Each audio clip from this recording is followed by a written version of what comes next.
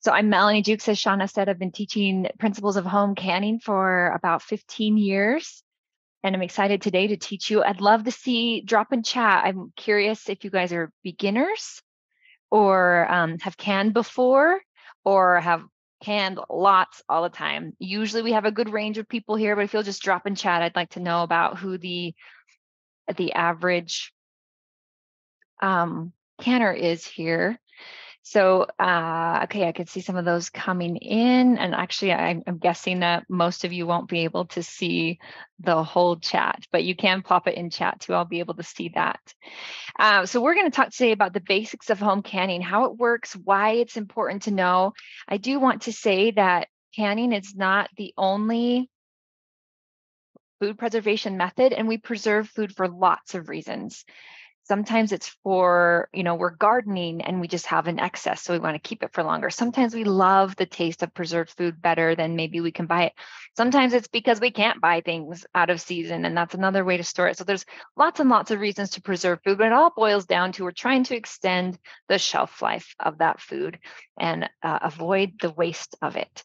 So we're going to talk about the methods of preserving just briefly today, food safety, and what that means when it comes to canning where to go for reliable recipes, what the different canning methods are, why we need to add acid to tomatoes, altitude adjustments, what not to can, what can be safely adjusted in recipes, and then, of course, the storing of that food.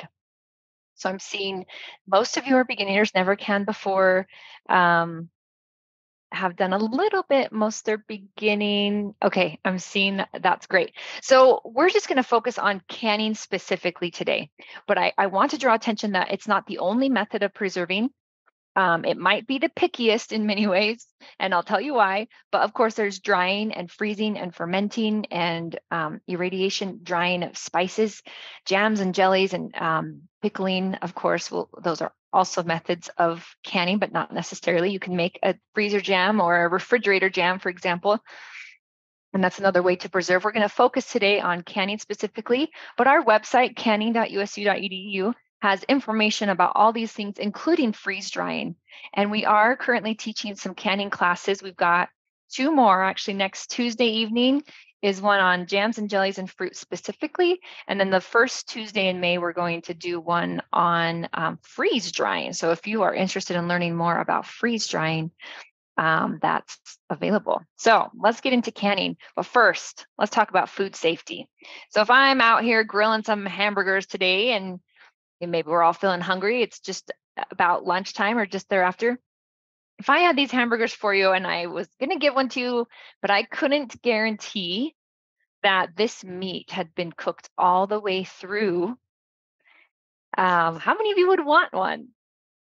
Now, most of you would probably be like, oh, well, maybe I wouldn't want one. Um, why? Why would you not want one? And I'd love to actually see some answers if you want to put that in. Um, why would you not want to eat a hamburger that maybe isn't cooked all the way? Now, some of you probably are like, I don't want to get sick. Some of you are like, I don't like the taste of raw meat. Some of you are like, I've been sick before.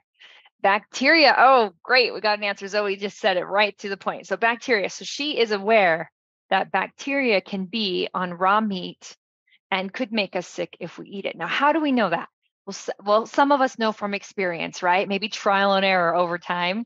But science has now shown us that there's actually a lot of different types of bacteria and virus and parasites that can be on food. And if it's not cooked uh, prepared or stored correctly or with the best hygiene, then it can make us sick. Um, and that's why we don't want to eat a raw hamburger necessarily. So there are food, four steps to food safety in general for and we're hoping people in restaurants are following these we're hoping you follow them at home washing your hands and cleaning your area of food preparation separating your raw meats from your fresh vegetables, cooking to adequate temperatures, and then chilling in the adequate time so it's not left out into the danger zone. So, this is all information we often learn in school when we're studying food safety, or if you're taking a food handler's permit. Some of these same things apply to canning, and here's why. So, there is a risk of foodborne illness anytime we have food, and we want to reduce that risk of foodborne illness in canning.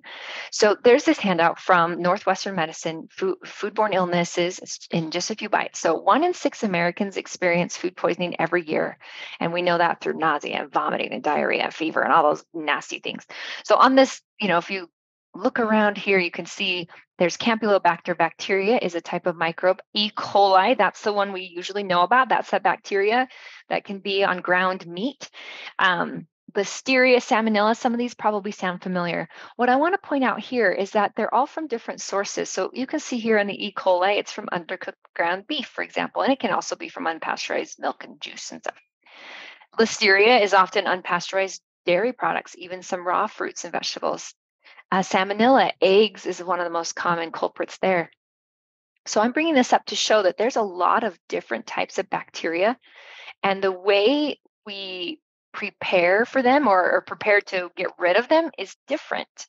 Um, for example, you've probably seen something similar. This is from the U.S. Department of Agriculture. The Is It Done Yet? It talks about the, the temperature that you should cook food to reduce the risk of E. coli, of salmonella, of those different microbes that can make us sick. So, in that middle section here, 160 degrees is what you should heat um, ground meat to in order to destroy any E. coli that might have been present on it.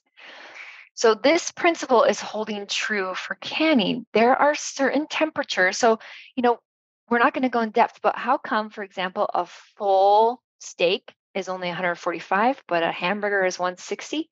And there's a different there's a lot of different reasons for that.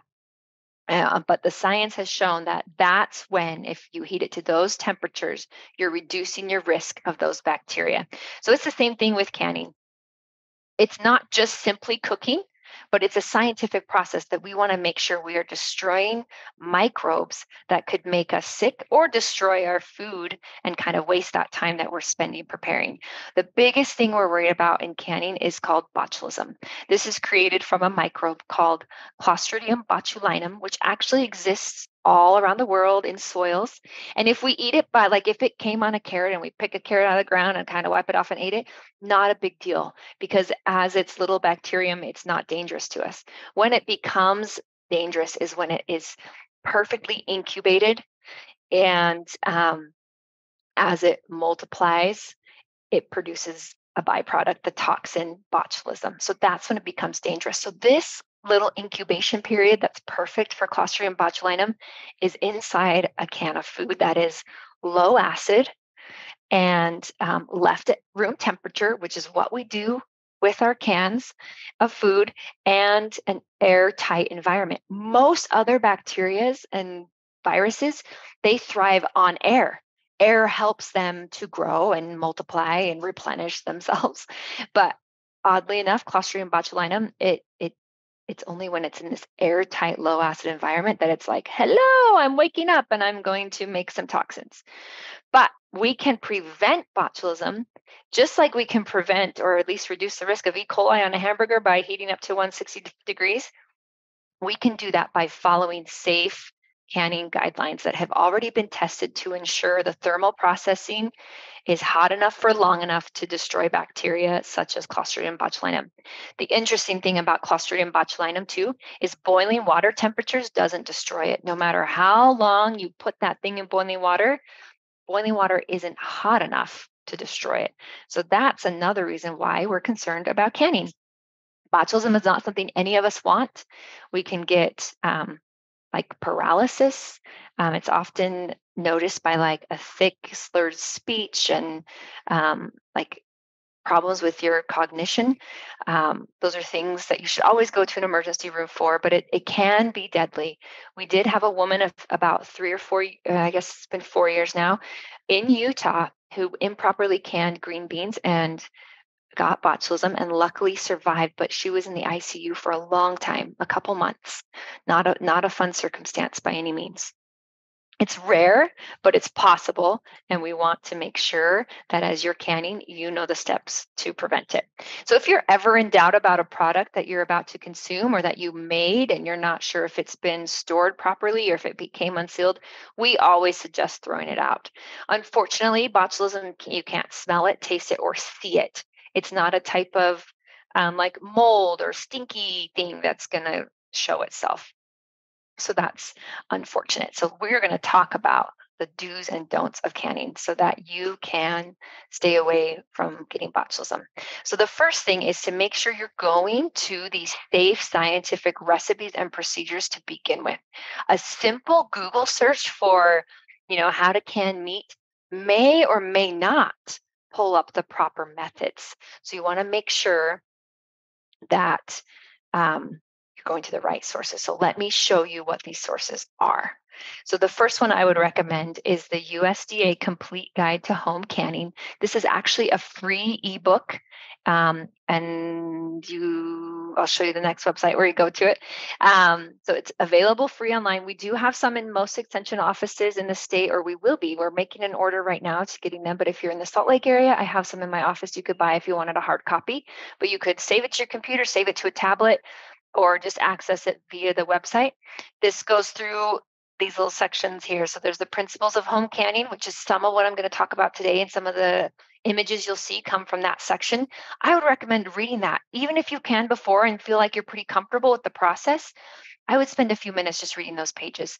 And then it has sections on canning fruits and fruit products like jams and pie filling, tomatoes and tomato products like salsas and sauces, vegetables and vegetable products, fermenting and pickling, jams and jellies, I say that already, and poultry meats and seafood. Yes, actually. So that is a great resource to use. It can be found at this website. It's a National Center for Home Food Preservation. And in the note I stuck in chat that you can download and save to your computer, the handout, there's a link to it, but it's just homefoodpreservation.com. I'll stick that in chat right now. Home food preservation com. I think I spelled that wrong. Reservation. No, I think that's right. Um, and this this you can if you scroll all the way down to the bottom of the website, there's a part of the bottom right in a tiny little box that says publications. And if you click there, you'll be able to access the USDA canning guide. But you can also just click directly on like this can or the freeze or the dry or you know curing if you're looking for curing or fermenting and and then click on the list of things they have there the same like if i click on how do i can tomatoes it's the same information that's on the usda canning guide it's just on the website form. So this is where when i get canning calls and people call me and i don't know something right off the top of my head this is where i go.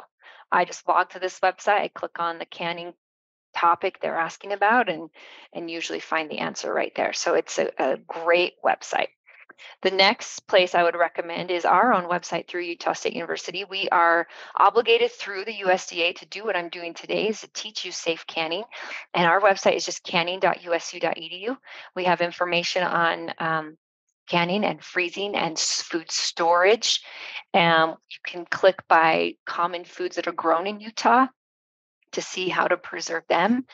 Um, there's information on how to use a pressure canner in there, um, why you shouldn't use an electric pressure cooker to can, um, all sorts of things like that on our website. So you could bookmark that, go to it often, um, where we try to keep it updated and have that there. Yeah, I am I'm getting a question to put the handout in the chat again. So I'm going to plop that right there. Um, so you have to look in the chat box that's down by your mute and unmute button or your camera. Well, I guess you're in webinar form, but it should be the bottom of your screen. And then you'll just have to save it to your computer to access it. And if you're not able to get that, you can email me and my email will be on the last slide, or it will be on the, the website after this program.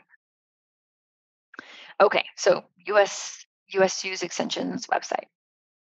Okay, the next, next another great place is a book called So Easy to Preserve. You want the sixth edition. Um, and there's also a DVD with with people just showing you step by step how to can many things. This is put out by the University of Georgia, which also houses the National Center for Home Food Preservation. This is a great book that has canning, um, dehydrating, and freezing things as well. Um, I wouldn't go to Amazon for it. I, I, I think people are just because it's not really on there. They have you could Google so easy to preserve University of Georgia, and you can find the website if you wanted to buy it. Um, we usually give this out in our master food preserver class, when um, which is like eight hour days of lecture of why and how, and then actual hands on stuff. It's a great book. Um, just make sure you're looking for the sixth edition. Another place is the Ball Canning Company, and they, you know, they have um, food scientists and um, chefs and microbiologists who are on staff to test and try things out. They've got a bunch of different uh, publications, such as the one on the left is the Ball Blue Book. It's no longer like a blue cover. This is the most updated one. I think it's like the 37th edition. But they've also got like magazines and um, this book right here on the left, this Ball Book of Canning. It's got like a picture and one recipe on a spread. So there's not as many recipes in there as like the a traditional ball book, um, but they, they've got a lot of great stuff to use too. I did notice, however, a few years ago, a, a random kind of reminded me of like a home and garden magazine that was on canning. It was not sponsored by Ball, and there were errors inside of it. I flipped through it and bought it, and actually noticed they didn't tell you to adjust altitude. They, anyway, there were things I noticed that I was like, ah. So do be careful the types of books you're looking for and be careful with that. Another one is the Ball Canning website. They do have a recipe section. You can see discover new recipes. They've got a great like pectin calculator if you're um, you know, you've got this much pectin and you want to make strawberry jam, but you don't have the recipe for it or ever, anything like that. That's a a great website too. And not everything in their books is on their website and vice versa. So if you're looking for something particular, you might be able to find it there. So that's a great resource. And then any like commercial pectin package or like the pickling and salsa mixes should have a procedure on there that is should be safe to follow if they are mentioning altitude, and we'll talk about why that's important. So the next part of the presentation, I'm going to talk about the methods and equipment. What do you need? How do you actually can? So to start, you're going to need jars that are meant for canning at home. So I wouldn't reuse um, old pickle jars, other like old mayonnaise jars, other things like that. Buy like the ball or mason jars, the Kerr jars that are meant and tempered for home canning. If you're buying some from like a thrift store or um, you know secondhand by any means, just check for cracks. Um, I have had, I accidentally had an old mason jar like in a collection that I brought from my mom's house once. And as I pulled it out of the canner, it the bottom had totally broken off. And I just had this mess of stuff in the canner. So you do want to make sure you have the right tempered canning jars. And we do recommend two piece lids and screw bands. You can buy one piece lids, but I even looked at the ball package the other day and it says not for canning, it's for decor and dried foods only. Um, there are other brands that are one piece, but there, you know, a commercial process of people who are like making jam to sell it or even companies that are making things like that, it's different than at home. There are some reusable lids out there on the marketplace, but studies have showed that they often come unsealed during the storage process. And maybe not often, I wouldn't say like the majority of them, but more of them come unsealed than the standard two piece, the lid with the screw band. So we do recommend that. During COVID, they were way backlogged. It was really hard to get, but I feel like they're Last year, they were back in stock, more easy to find.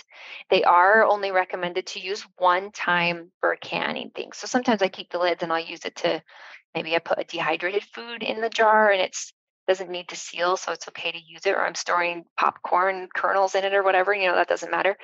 But for canning purposes, it's only meant to use once. That sealing compound on that rubber part is only guaranteed to work once. And so new lids every time, but these screw bands you can reuse over and over again. We recommend getting rid of the ones that are dented and rusted.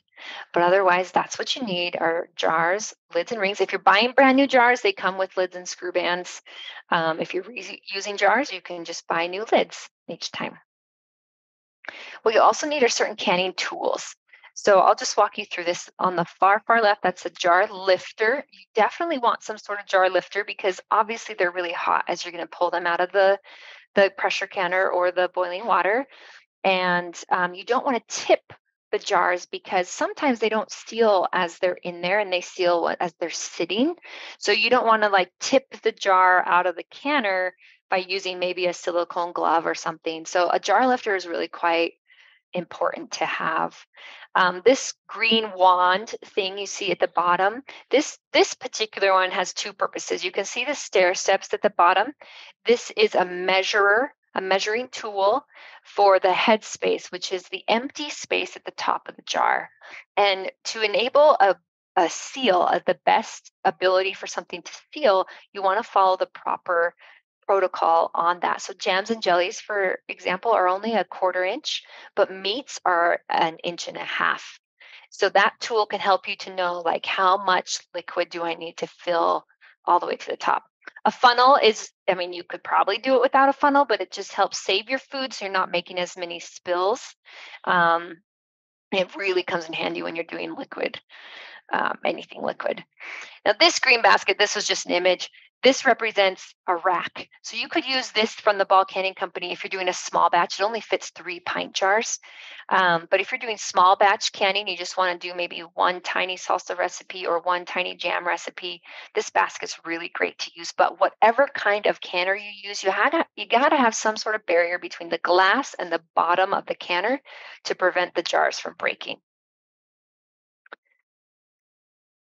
Um, and we'll talk about the actual canners in just a second. So why we have two different canners is this reason.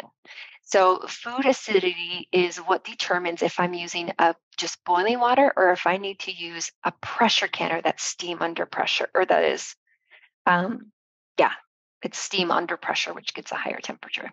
So in this little cartoon thing, we see a, uh, a pH chart. So, you know, something like milk is a higher number pH but a lower acid, and something like a lemon is a higher acid with a lower pH. Did I say that wrong? Lower pH is a high acid. High pH is a low acid. I apologize if I said that wrong the first time. So, acid is a protector from a lot of microbes that can destroy food, including Clostridium botulinum that causes botulism.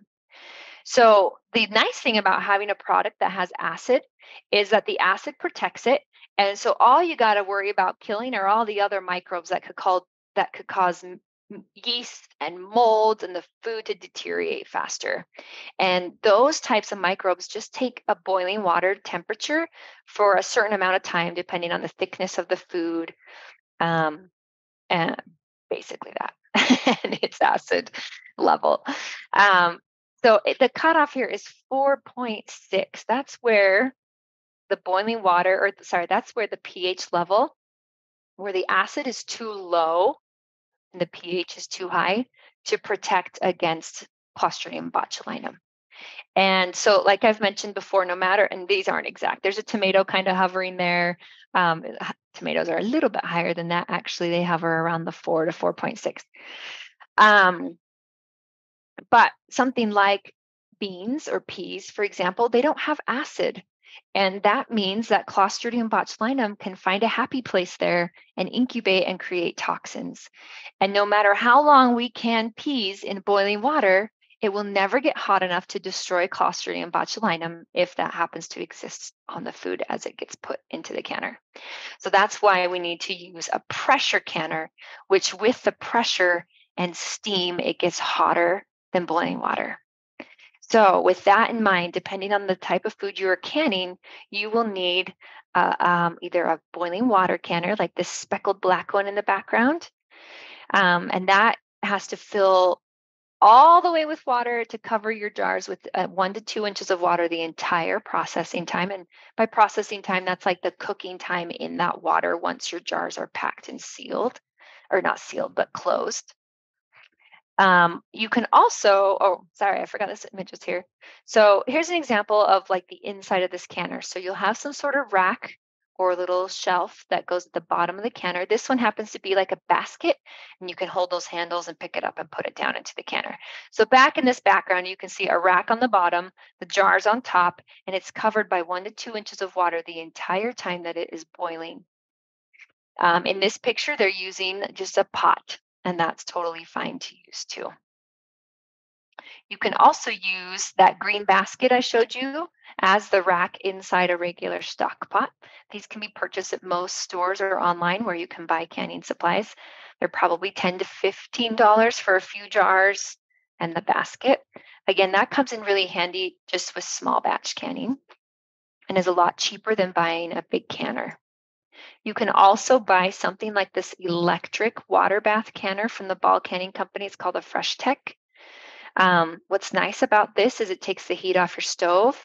It has a, when you turn this little dial all the way over to canning, it just maintains a nice rolling boil where sometimes when you're on the stove top, you got to constantly watch that because stoves tend to kind of come on and off if, if you don't have a gas stove. And so you got to keep watching that boil the whole time. So this is really nice to have, but it adds a price. It's definitely more expensive than those little speckly um, uh, boiling water canners. So those are your options with boiling water canners. You can use a pot with some sort of basket or rack. Um, you could even use a pressure canner, just don't seal the lid. You know, it's just a pot of water basically. Or you can get this traditional, you know, the black or blue speckled ones that are still available in the stores or secondhand. Okay, pressure canning. Let's talk about that next. Whoops, sorry. Uh, it just said pressure canning, so you didn't miss anything. So pressure canning, because we need steam under pressure, because that gets hotter than boiling water, you actually just need a little bit of water at the bottom. Depending on the size of your canner, ends up being about two, three inches of water, maybe. Um, I pressure canned the other day and I needed three quarts of water at the bottom of mine, but it ended up looking about like this. Again, you need some sort of rack or shelf that your jars can sit on. And then pressure canners, you can get one that's a dial gauge, like this one with the little red dial, or a weighted gauge. And you might have one that looks like this is a coin and you can flip it on its side to determine if you want five pounds of pressure, 10 or 15, or maybe your weight might look like this. Um, and the weight, so they have different sizes depending on the pressure. Um, anything over a thousand feet of sea level will need a 15 pound weight. Um, and then if you're using a dial, it just depends on your altitude, and we'll talk about that next.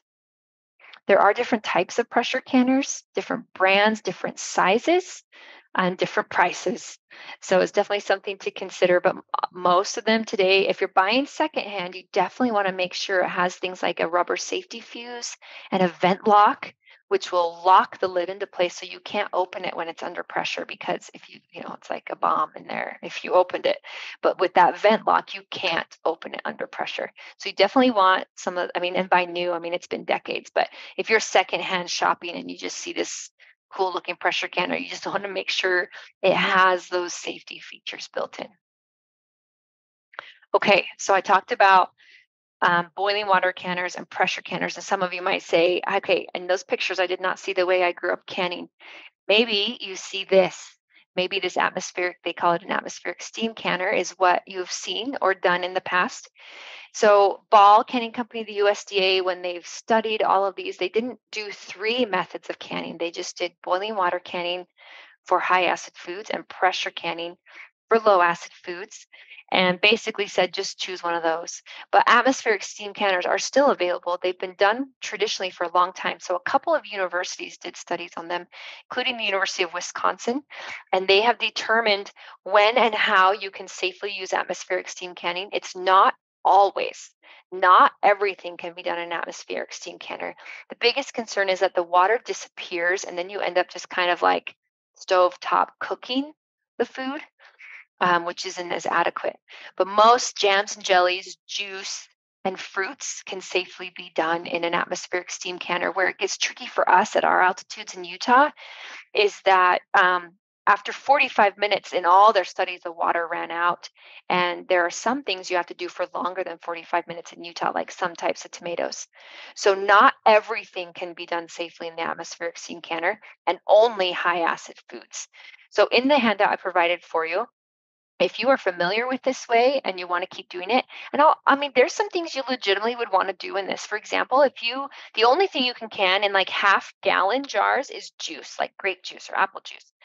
And the only way you could do that because boiling water canners aren't tall enough is to have an atmospheric steam canner that's tall enough. So there are some legitimate uses that make sense if you're trying to do certain things like that. Um, but if you're brand new to canning, I probably wouldn't suggest this. I'd probably suggest sticking with the boiling water canning and the pressure canning because those two methods will cover everything that you can can. Hope that made sense. I'm happy to take questions about that if it makes sense. But again, the atmospheric atmospheric steam canning can be safe as long as it's high acid foods only that will never go more than 45 minutes. And then you need to make sure you're not boiling out that water as well. So it's not too high of a boil.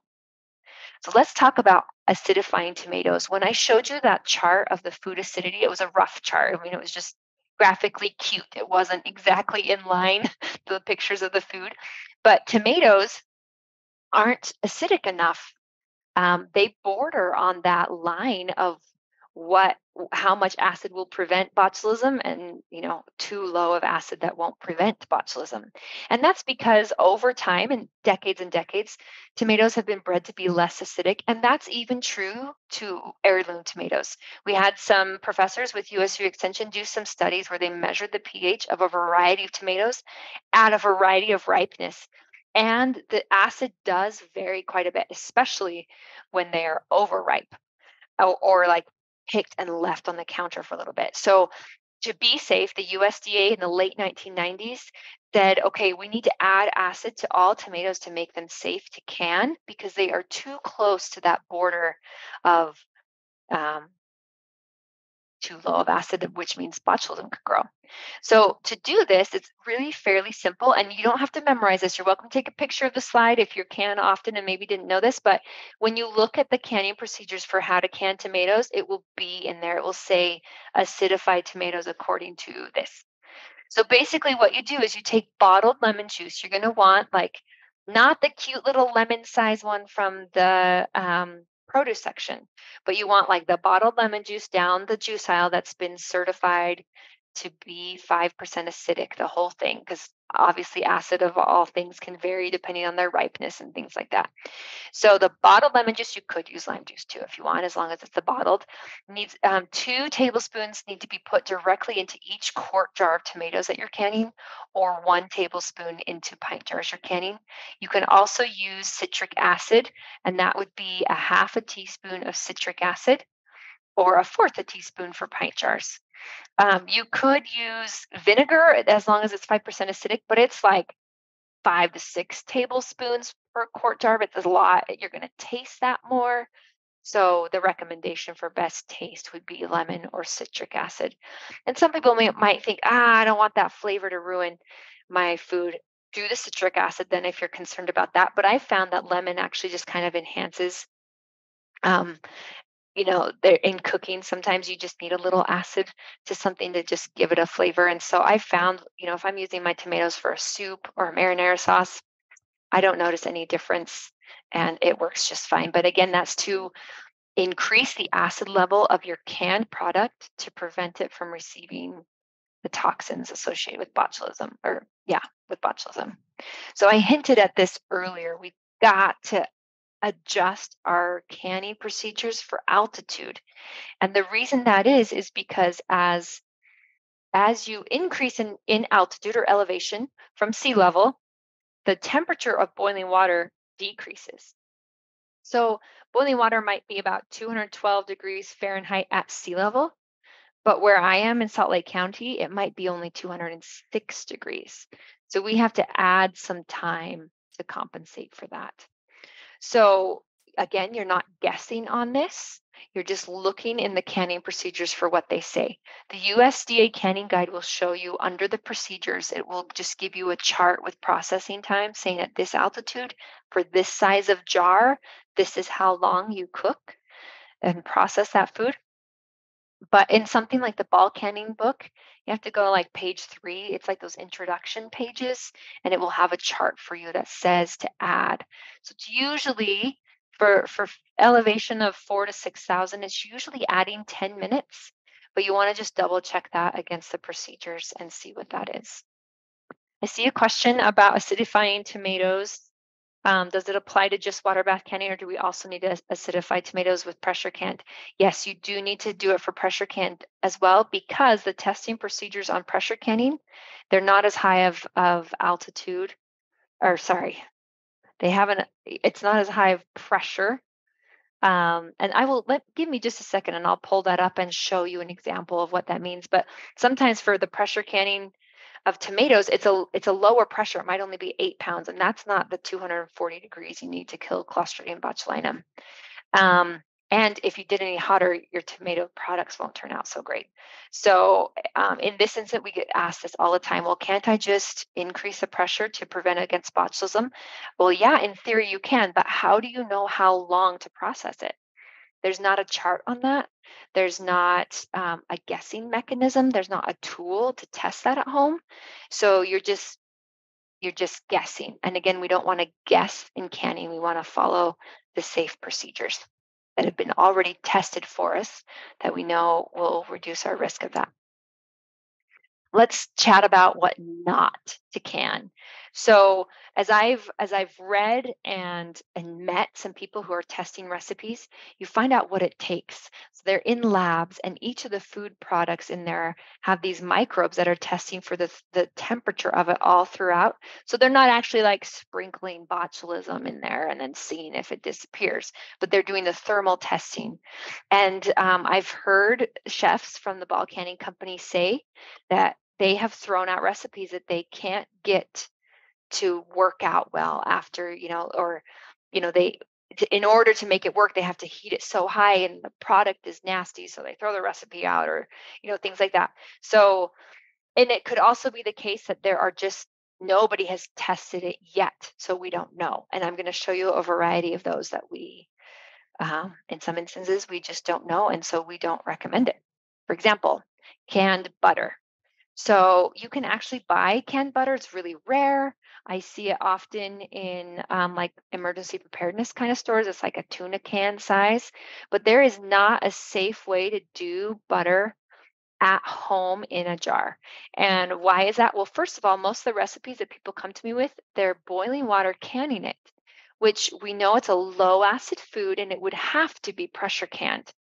Um, so that's that's one thing the high heat we're not sure would really make a good quality butter after that to begin with you know at 240 degrees for a really long time um, just might not make a good product so we do not recommend canning butter and we do recommend if you're trying to kind of store quote unquote long term, it would be to freeze it. Obviously, freezing has a shelf life too. It definitely extends the life of food, but it's not going to make it last forever. So please don't can butter and please don't pass those recipes around until we know or until somebody wants to invest a lot of money in testing it. Hydrated wheat kernels. So most of the time when we eat wheat, we're grinding it into flour, but you can obviously cook it up like a grain, um, like a barley or like a rice, and it can be in soups or salads or um, meatloaf, all sorts of things. So it, it takes longer to cook than rice does. And so people are like, well, if I cook it and then um, or pressure can it, it cooks while it's pressure canning, and then I have a jar ready to go to put into my soup. But we do know that starchy things, um, it messes with the thermal processing because it makes it thicker and and maybe not as good of quality. So at this point, it's never really been tested. And we do not recommend because we know it is a low acid and we don't know how long you'd have to pressure can it in order to kill any of that Clostridium botulinum that's on there. So that is not safe to do at this point. It's unknown. Quick bread. I think how this started, I haven't had a lot of questions on it lately, but things kind of come in cycles. Um, I think where this started is there are recipes to actually take your banana bread or whatever and cook it in a coffee can, an empty coffee can in the oven and then, you know, you can, when it's done, you, you empty it out and it's a round loaf and just kind of a cutesy way to make quick bread. Um, and I think somebody was like, oh, I can use a wide, a wide mouth jar and cook it that way. And then somebody probably one of these days was like, oh, I'll just put a lid on it and put it on my shelf. But we do know a few things about quick bread. It gets thicker as it cooks. Um, which the thickness definitely interferes with the heat penetration of the pressure canners. We also know it's low acid. Um, so at this point, please don't can quick bread. Again, you could freeze it if you're hoping for a little bit of a longer storage. Or you could, you know, freeze the bananas, for example, or the zucchinis and then make it fresh. Dry beans. This is another one that is often misunderstood. There are recipes for pressure canning dry beans, but as you read the instructions, it will tell you you need to soak the beans first and then partially cook them first. And, and that's important for the heat penetration, the thermal processing, and that kind of thing. So, can you can dry beans? Yes, but in the processing, they can't be dry when they go in your jar. So that's a trick. I've heard people pass that around. They're like, oh, it's so easy. I put dry beans in there, fill it with liquid, stick it in my pressure canner, but you are missing a lot of steps and that heat isn't able to get through all the way if you do that. So follow the procedures very carefully in, in that regard. Let's talk about a few things that you can adjust, and then I'll have time to show you um, an example of that tomato acid on the USDA canning guide. So customizing recipes. So these are the things that won't interfere with the safety or the acid or the heat penetration um, salt levels. Salt is, while we sometimes think that salt is a preservative, when it comes to canning, it's not. It's just for flavor. So you can omit them if that's something you need to do for your diet or your personal taste preferences, or you could even add more if you wanted. To, that that doesn't matter. Salt is um, something you can adjust, except in pickles when you're actually trying to pickling pickle pickling because um, the salt does help with the crispness of the vegetables. And so you, you, you know, if you're trying to get a crisp pickle without salt, it won't happen. Um, I see a, uh, a question. Can you safely can ghee?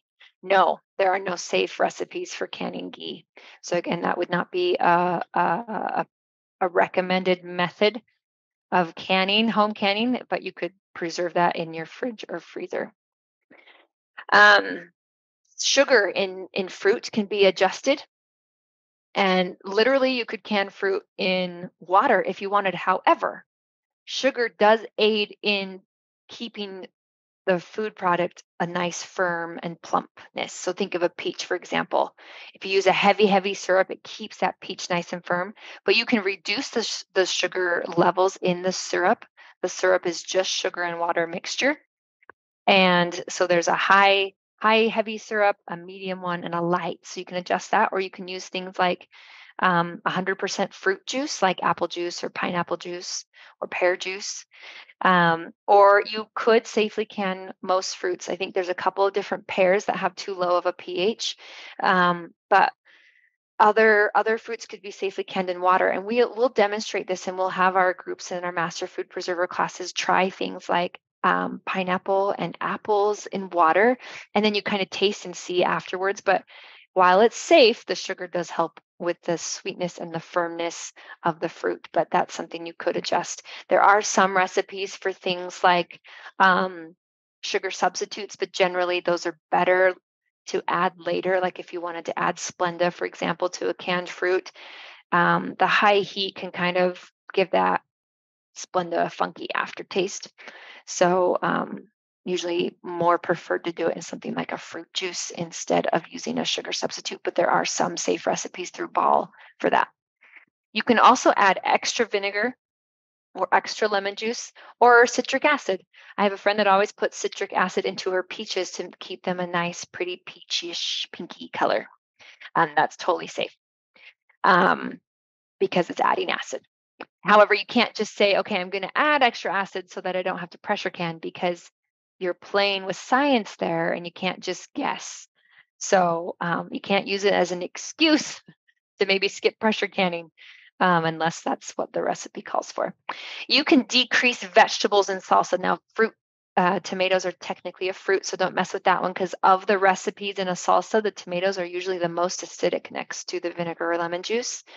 So don't adjust the tomatoes, but you could reduce the onions or reduce the peppers, or maybe you know you're chopping up and you're just short a half a cup of something like a veg like a uh, onion or pepper, and you could simply leave that out. You can also substitute peppers for each other's in salsa. So if it calls for bell pepper and you want it spicy, you could substitute instead of adding. Because if you're adding, so you, you do what the recipe calls for, and you're like, ah, I'm going to add a habanero or I'm going to add a couple of jalapenos. You are adding a low acid, which is going to lower your pH. So stick with the recipe guidelines, but you could switch your peppers out for each other as long as it's the same. And same with onions. You could switch for a yellow or a white or a red, or those are, are our taste preferences. Okay, the most frequently asked question we receive is how long do home canned products last? And it is actually a tricky question to answer, and it depends on a variety of things. The first and most important is did you follow safe, scientifically tested recipes to begin with? If you did, the next question has to do with its storing. Did you store them at a um, at a temperature that's going to just make them taste and last better? So you know, under 50 to 70 degrees is ideal. So watch if you're using like a garage for storage of food, that will make them have a, a less or a, a lower shelf lifetime. Um, and then the other one is if they've been compromised in a flood. If they are in a flood, it is not recommended because of the potential of the contaminated water, even just, you know, just particles getting on your board or on your jar. Um, but if all those things are great, you use a safe recipe and you you follow the procedures correctly, your lid's sealed and stay sealed. I didn't mention that one. You want to make sure the lid is sealed. It hasn't been in a flood, and um, ideally, it's been between 50 and 70 degrees um, it actually has a really long, safe shelf life. The problem is that the texture changes, the color changes, and the taste could change. Um, and that is where like personal preference kind of comes in. Another factor is that the ball canning company on their lids, they only say that they're guaranteed to that once you seal your jar, that the seal's only guaranteed to work for 18 months um, you know it might last and i know i know from personal experience i've had jars uh, seal and stay sealed a lot longer than that but you just you just risk um, that you know they are they're only going to guarantee the 18 months. If you look into the ball canning book and the usda guide they say use within a year and all of us at utah laugh because in utah we eat grandma's 30 year old something right? So um, it's really just with best quality use within a year or two and from there your quality is just going to deteriorate. So how many of you have seen like a salsa or jam and you're not sure if it's a salsa or a jam because it wasn't labeled and it you know it's discolored it's changed you're you're not sure. So best quality and best practice would be that you're you're rotating and um, you know you're using what you store and you're storing the types of foods that you're going to use so that you don't have to wonder like oh can i eat this 10 year old pie filling that got you know stuck in the back of my shelf and i'm i'm not sure if it's safe or how long is this canned meat going to last but so best use within a year but yes ultimately if it's safe it the calories will be there like forever but vitamins and minerals are like the first things to go and and obviously the taste and texture could change. Okay that's um, what i have for you